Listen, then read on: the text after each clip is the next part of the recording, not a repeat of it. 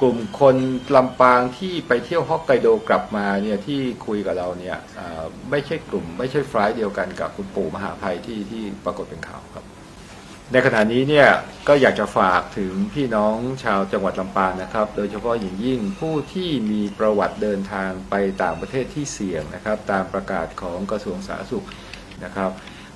ล้างมือบ่อยๆนะครับไม่ไม่ออกไปในพื้นที่สาธารณะนะครับ เช่นการนั่งรถโดยสารสาธารณะไปห้างสรรพสินค้าต่างๆ ไปตลาดต่างๆเนี่ยนะครับ อันนี้ถ้าหากว่าหลีกเลี่ยงได้ขอความร่วมมือในการหลีกเลี่ยงนะครับ